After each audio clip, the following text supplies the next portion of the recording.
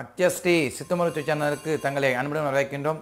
இன்று நாம் பார்க்கும் தொகுப்பு குழந்தைகளுக்கு தீராத வயிற்றுப்போக்கு வயிற்று உபசம் மந்தம் மாந்தம் அப்படிங்கக்கூடிய வியாதிகளை சரி செய்யக்கூடிய ஒரு எளிய மூலிகை மருத்துவம். எந்த வகையான பக்க விளைவும் கிடையாது. செய்தால் பலனுண்டு அனுபவ முறை. இந்த அப்படிப்பட்ட மூலிகை அப்படின்னு பார்த்தீங்கன்னா பொடுதலை மூலிகை. இந்த பொடுதலை மூலிகை பற்றி பார்க்கறதுக்கு முன்னாடி நம்ம சேனலை இதுவரை சப்ஸ்கிரைப் பண்ணாதங்க. சப்ஸ்கிரைப் பண்ணுங்கள் மற்றவங்களுக்கு ஷேர் பண்ணுங்கள் லைக் பண்ணுங்கள் மறக்காமல் கமெண்ட்ஸ் போடுங்க.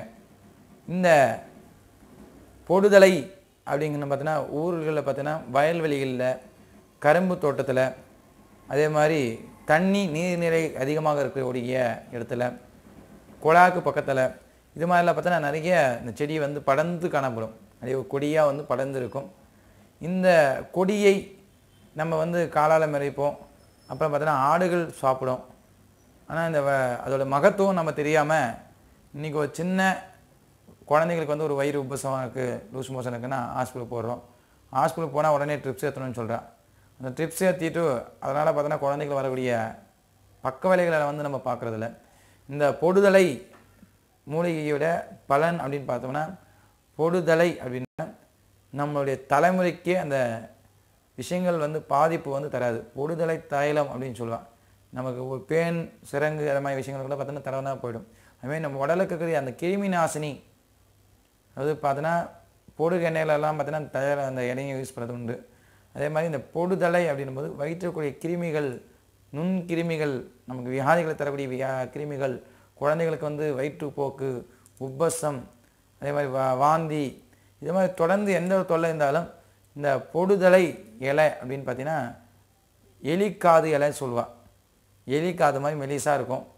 அதே மாதிரி கொஞ்சம் கட்டான மாதிரி இருக்கும். இந்த இலையை வந்து இட்லி குண்டால் நம்ம ஆவரி கட்டுற மாதிரி அதை பார்த்தா இட்லி குண்டால வந்து துணி கட்டிட்டு அதில் பார்த்தீங்கன்னா கீழே தண்ணி வச்சுட்டு அது மேலே துணியை கட்டிட்டு அந்த இலையை வந்து சுத்தமாக அலம்பிட்டு ஏன்னா அந்த எச்சிலெலாம் இல்லாமல் பார்த்து நல்லா அலம்பிடணும்.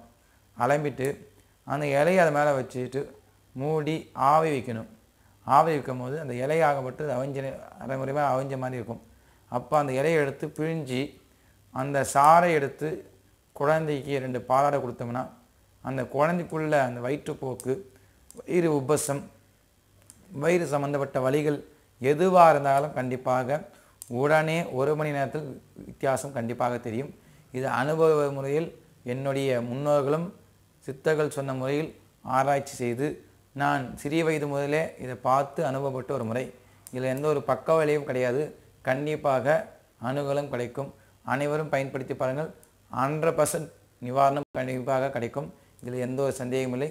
இது சித்தர் வாக்கு சிவன் வாக்கு அடியன் வாக்கு ஆண்டவன் வாக்கு. அனைத்து வகையான மருத்துவ குறிப்பிலும் பார்க்க நம்ம சேனலை தொடர்ந்து பாருங்கள் நமச்சிவாயம்.